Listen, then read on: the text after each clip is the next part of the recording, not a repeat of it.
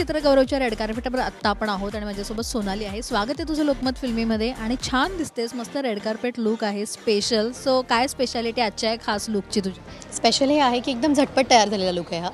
अगदीच खूपच last minute ठरलं की मला यायचं आहे. मला वेळ मिळतो आहे यायला. आणि पटपट आपण काहीतरी क्रिएट करू. सो माझी मॅनेजर आहे निकिता. तिने काहीतरी माझ्या डिझायनरबरोबर पूजा पटेलबरोबर डोकं लावून काहीतरी मस्त लुक डिझाईन केला आहे so yeah the credit goes to these two ladies सगळ्या लुकमध्ये मला आवडले ते सगळं मस्त लायनर ब्ल्यू आय लायनर जे इतकं छान वाटतंय. हां हे बघ. सोनाली खरं तर आज काय चेअर कोणाला चेअरअप करायला आली आहेस? कारण एक तू रिलॅक्स मोडमध्ये दिसतेस आज. पण असं खूप क्वचित होतं की कुठल्या तरी पुरस्कार सोहळ्यामध्ये माझं नॉमिनेशन नाही आहे किंवा मी परफॉर्म करत नाही आहे किंवा कुठल्या सिनेमाचं प्रमोशन नाही आहे मी आज चिल्ड आहे. मी काही सिनेमे या वर्षातले उत्तम सिनेमे पाहिले आहेत आणि त्या सगळ्या सिनेमांना त्या सगळ्या कलाकारांना मी चेअर करायला आली आहे.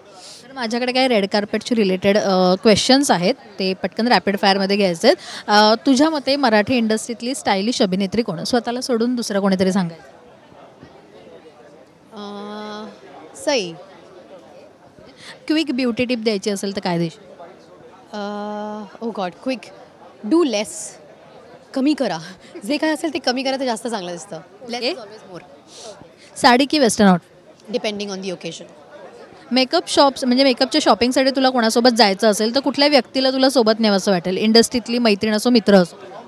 आय थिंक प्रार्थना भेरे. आणि ती मला सतत असं एक अरे हे प्रॉडक्ट आलं किंवा ही लिपस्टिकची शेड ट्राय कर वगैरे असं खूप सांगत असते सो प्रार्थना. तुझ्यासोबत नेहमी तीन गोष्टी कोणत्या असतात मेकअपशी related मेकअपशी related lip balm it's not makeup but it's okay lip balm moisturiser हे हेही मेकअपशी रिलेटेड नाही आहे अजून काय असतं? मी ॲक्च्युली एरवी मेकअप नाही करत. सो लिपस्टिक किंवा आयब्रोज किंवा स्टुडिओ फिक्स वगैरे नसतं माझ्याकडे फार. So lip liner moisturiser sunscreen तुला असं का असं कुठली गोष्ट वाटते की जी तुला इतरांपेक्षा स्टाईल स्टेटमेंटमध्ये वेगळी ठेवते? तुझी एक स्वतःची एक वेगळी स्टाईल स्टेटमेंट आहे तर ती कुठली असते मी युजली ट्रेंड्स नाही फॉलो करत. सो एखादा ट्रेंड चालू असेल तर आपण ते फॅब्रिक किंवा ती गोष्ट करूया हे मी टाळते. तुझा आत्तापर्यंतचा रेड कार्पेट लुक तुला आवडलेला स्वतःला कोणता ओ गॉड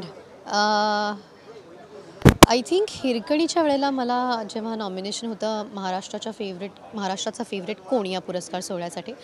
तेव्हा मी एक तीन चार पैठण्यांचं एक एक सुंदर इंडो वेस्टर्न आउटफिट केला होता.